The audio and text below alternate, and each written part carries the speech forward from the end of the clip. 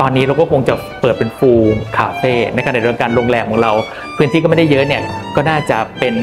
กิจการที่สามารถเอื้อเฟื้อซึ่งกันและกันได้ ชื่อนายแพทย์ธรรมสอนจีระอัมพรวัฒน์ครับ คือจริงๆแล้วตึกเนี้ยค่อนข้างอายุเยอะอายุ 30 กว่าปี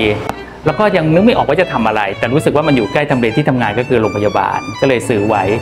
ตอนนั้นก็เลยมีคนสักเจสว่าถ้าเป็นไปได้ลองทำเป็นโรงแรมดูไหมเราก็ยังตะขิดตะขวงใจเอ๊ะทำได้จริงหรือเปล่าพื้นที่ตึกห้องแถวเขาดีไซน์ออกมาเราก็รู้สึกว่า เออลงตัวมันมันมีความเป็นไปได้ พื้นที่ข้างหลังเนี่ยซึ่งตอนนี้ที่เราเห็นเป็นสวนเนี่ยมันไม่ได้เป็นสวนแบบนี้เลย ถ้างั้นเราใช้คอนเซ็ปต์ที่ว่าทำเป็น allotment มันเป็นสวนเล็กๆ ที่อยู่ภายใน area ของหมู่บ้านอะไรอย่างเงี้ยคือพอเป็นโรงแรมมีสวน จะมีสักกี่ที่ที่บอกว่าไม่มีอาหารเช้านะ ก็เลยคิดว่าควรจะต้องมีอาหารเช้าให้ลูกค้าสุดท้ายก็ได้มากลายมาเป็นคาเฟ่ก็น่าจะเป็นกิจการที่สามารถเอื้อเฟื้อซึ่งกันและกันได้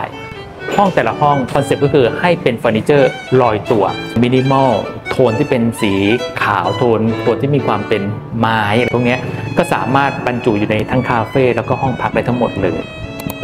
วันดีคืนดีขณะที่ดูหนังอยู่เรื่องหนึ่งเขากำลังพูดถึงโทเค็นคือสิ่งที่เป็นระลึกความทรงจำในภาษาอังกฤษใช้คำว่า memento แต่เรารู้สึกว่าคนไทย ถ้าเราจะพูดคำว่า memento เนี่ยอาจจะไม่คุ้นเคยแล้วก็เลยแปลงให้เป็นคำว่า momento เพราะมันใกล้เคียงกับคำว่า moment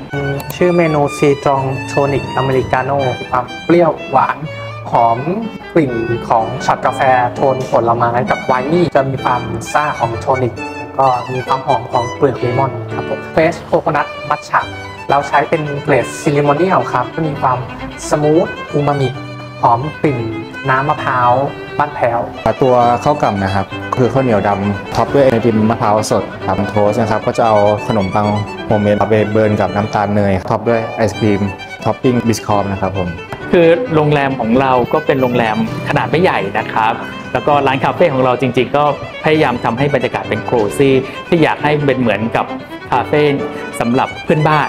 ให้ทุกคนได้แวะเวียนมานะครับ อยากจะบอกว่าเมนูหลากหลายมาก เพราะคนคิดครีเอทมากแล้วก็อยากให้ลองแวะเวียนมานะครับเพื่อจะได้เป็นแรงบันดาลใจให้ทุกคนนะครับ ขอบคุณมากครับ